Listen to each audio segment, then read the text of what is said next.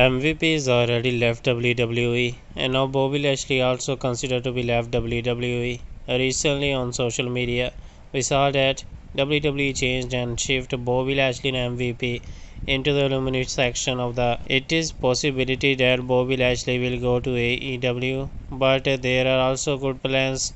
He can move to the Impact Wrestling to TNA, as he was also part of their roster years ago. Bobby Lashley and MVP can reunite at the biggest show if AEW wants and some other companies.